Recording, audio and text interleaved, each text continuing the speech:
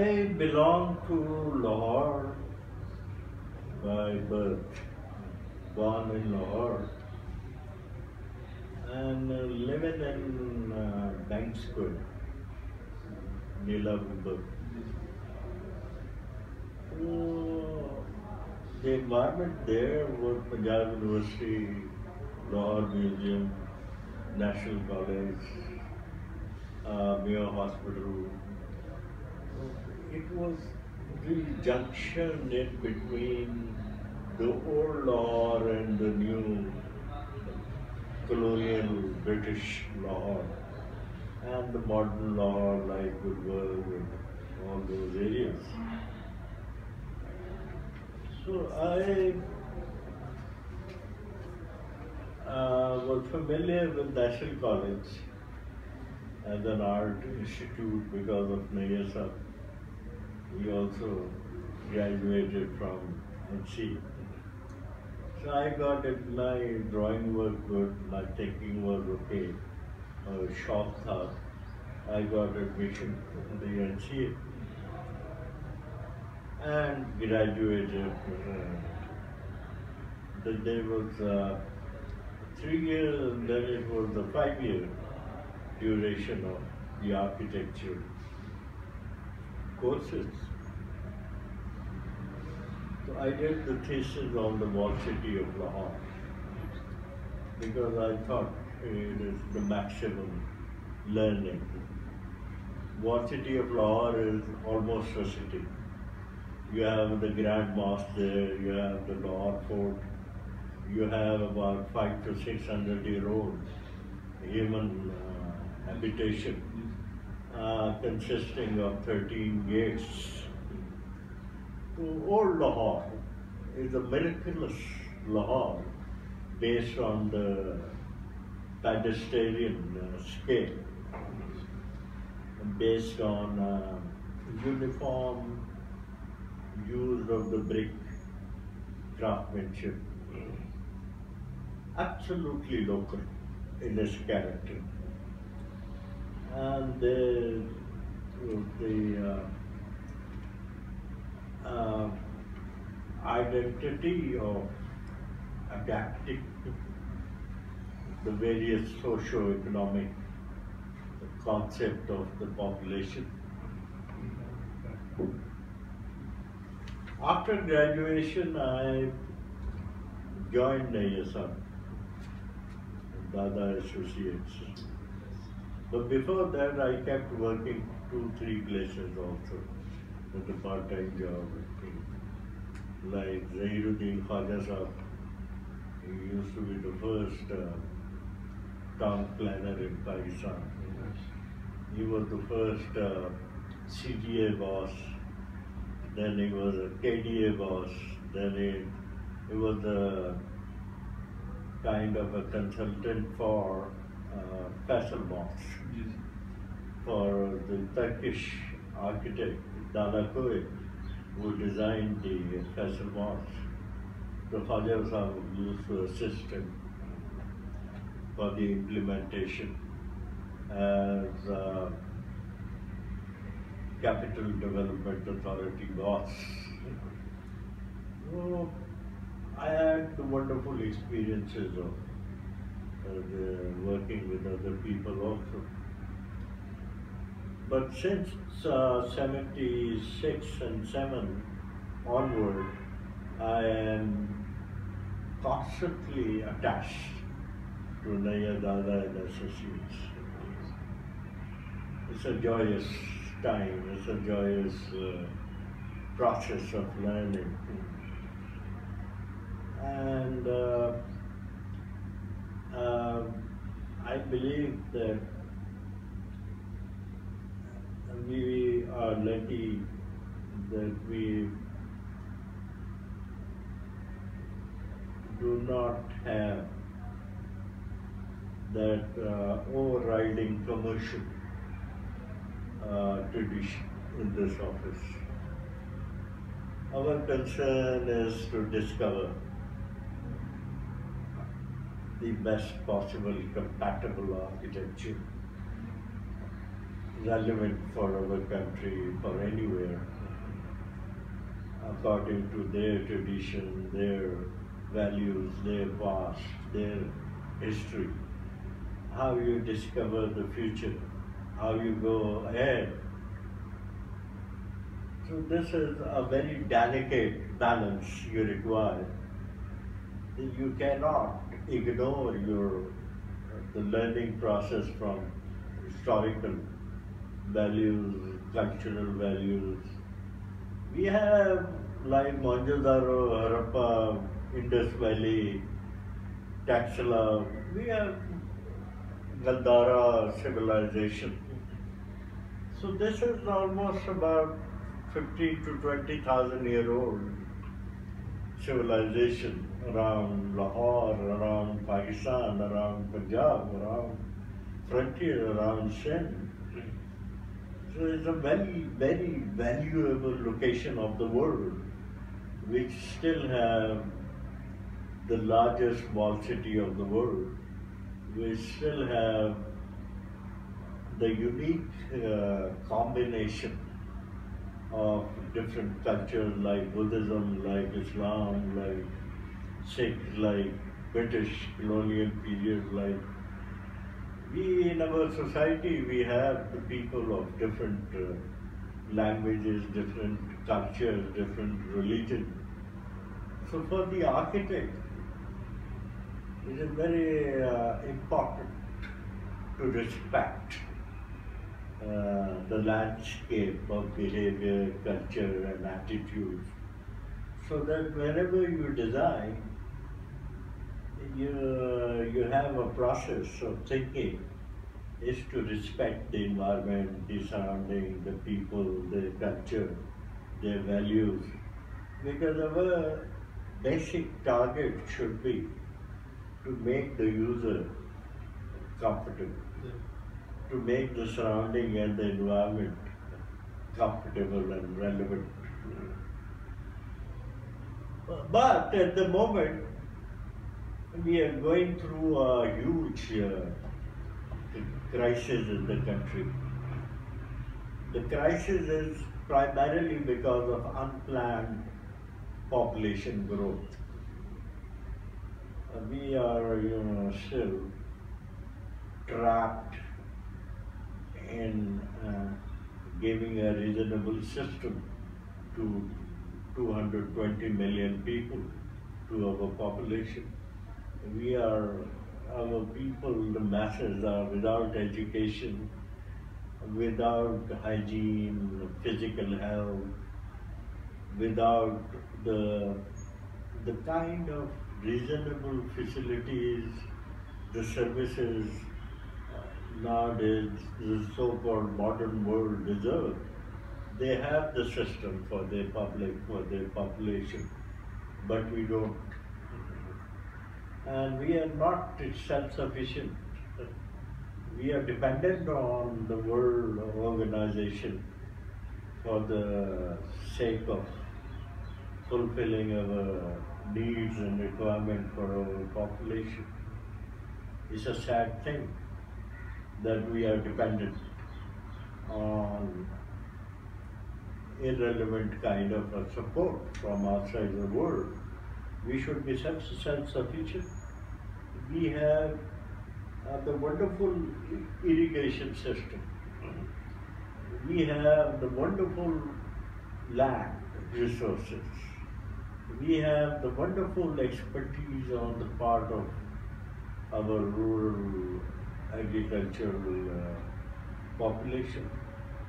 But because of these mafias, the corrupt bureaucracies and unfortunately corrupt 70 years of Pakistani history. We are not able to see the light in the future. We are not able to see much of the positivity for the future generations. In architecture particularly, the problem is that in spite of taking pride in our history, culture, and whatever is uh, the hard work of millions of people in different civilizations, generally a wonderful history. In spite of learning from them, our direction is like the way artificially planted cities. Our orientation is the complex to the west, which is totally irrelevant to our topography, our geography, our climate, our kind of living. Now we have, uh, as such, the world is realizing about green architecture, which is also it is a, a so-called commercial slogans going on, but practically they're not stepping back on their bad habits. They're still making uh, uh, unbelievable high-tech, high-rise in the cities. They're still choking their cities with the, without providing a natural environment, but as a uh, fantasy to uh, show off, a fantasy to glamorize. Uh, they do portray in this their advertisement and their publicity the kind of loud uh, uh, political, socio-political drama about the green future and the green architecture and ecology and things. But practically speaking, until and unless every individual adapts a simple life,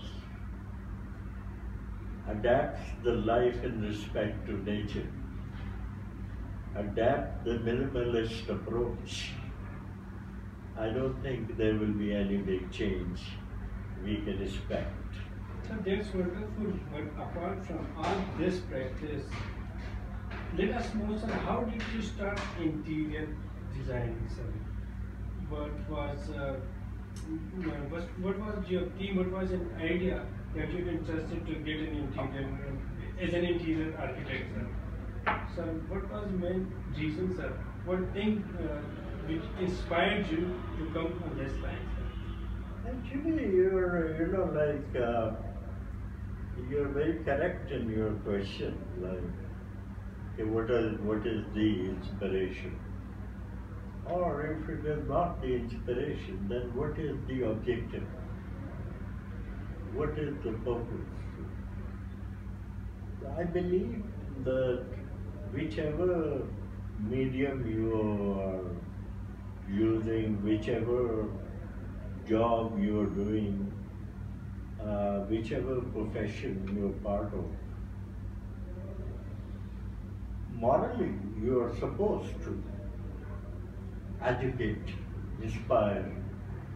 Uh, morally, you are supposed to share the good values and the good direction and the good dimensions which are relevant for the people around relevant for your society. So as I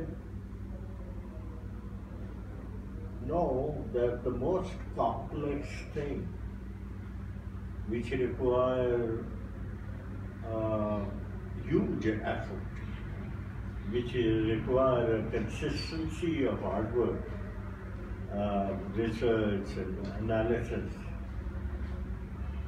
is to create a simple solution. Simplicity is the most complex uh, achievement. So I believe that uh, interior, exterior is, should be part of one character is the process is the characterization. Process is to how to decrease the dependency on the artificial means of controlling the climate and environment, creating the working conditions for the interior. The process is how to unload the stress on the maintenance factor. The process is the durability, the lasting uh, value of your construction system, your design system, your interiors. If you're spending a hell amount of money and resources just to maintain an interior, I think this is then uh, uh, a negative kind of a business. It's a negative burden on the resources. So I believe the first priority in the interior is to take advantage of the natural resources. Like you have the daylight, the sunlight. There's a wonderful sunlight around the entire Pakistan. So we can take advantage of that and uh, can work our working hours in such a manner that we don't use much of the uh, electricity and other energy resources. The interior should uh, conform to the burdens and the problems we are facing in this country.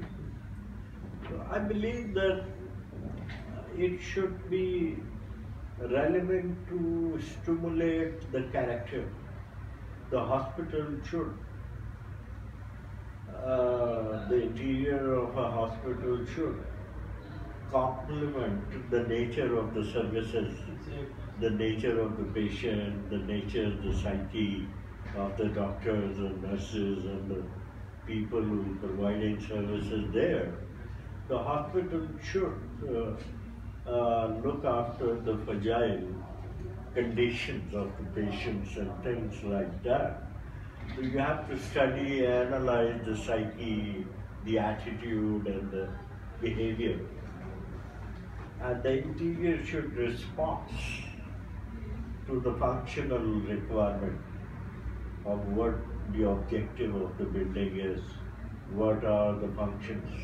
The interior should complement uh, the vision, like if you're designing a mosque, so the idea is to stimulate the peacefulness. The idea is to uh, vibrate with those values where the religion has the meaning.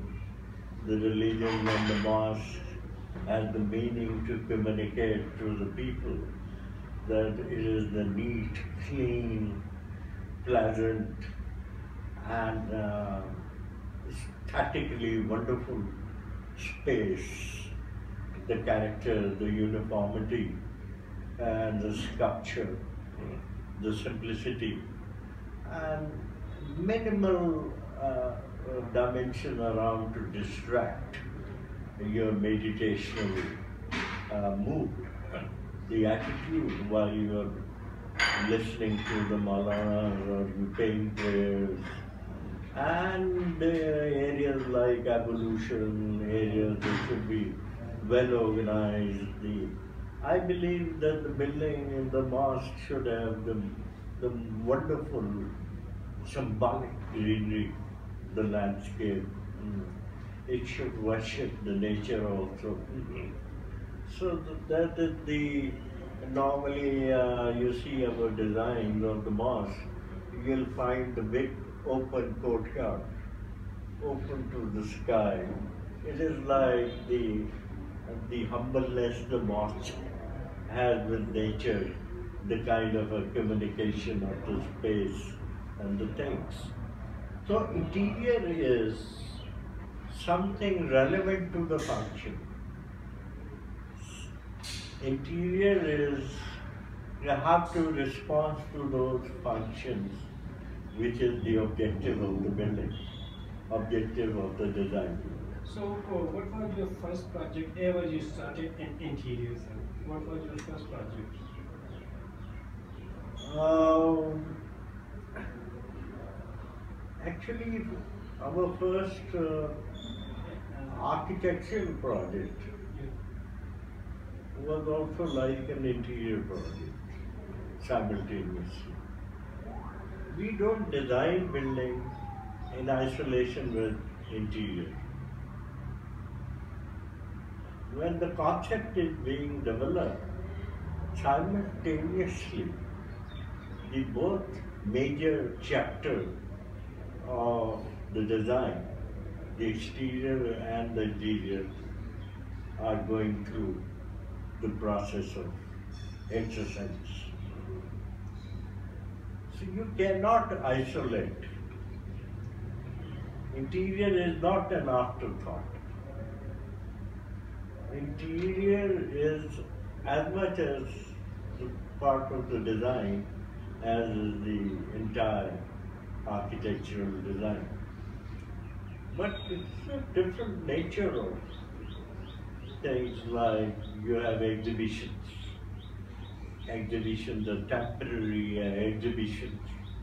Uh, an exhibition for 15 days, an exhibition only for 4 hours. There are challenges of different kind of interior design. So I believe that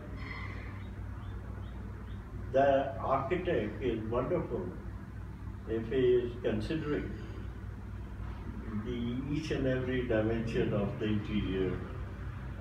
Like, for example, I have five, six students coming to me from uh, the uh, uni, Lux. They were studying there for two years. They came to me with a problem. They said, "If we are going to the uni for the last two years, but every day we go there, we lose our way, our direction.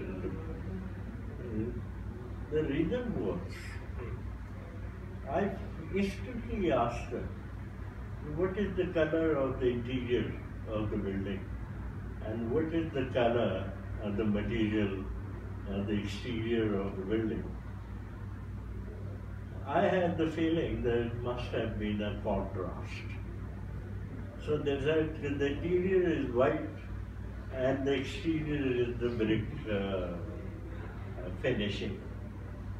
So when you have a, a dodging Yeah. puzzle of the color and the character, so you are actually confusing people. Uh, and the lack of is a strange stress of them to look for the way and the direction and uneasy approach toward using the building. So I believe the harmony in character, the symmetry in character, the relationship of interior and exterior is very important to make the people at ease, the user at ease with the building. What objective most inspired you in interior? What's the main objective that you share? I believe first is uh, the priority is I, I normally think I don't want to interfere with the people. I want them to discover themselves, their character. I want them to, if I go into a house, then I should know the owner's uh, character by surrounding environment and the character of the interior. But unfortunately, most of our people, they copy from magazine, from other net and other, uh, you know, social media and this. And they come to us or to other interiors masters just because of the name. Not because they are familiar to their requirement. They don't really know, unfortunately. Most of our people are very ignorant of their own thinking, their own way of living, their own style. For the sake of granted uh, values of the flow of a train, flow of a uh, system, everybody is just it matters how much money you have input in the deal, how much spending you've done, what you have imported from Italy or what you have imported from Dubai, that matters.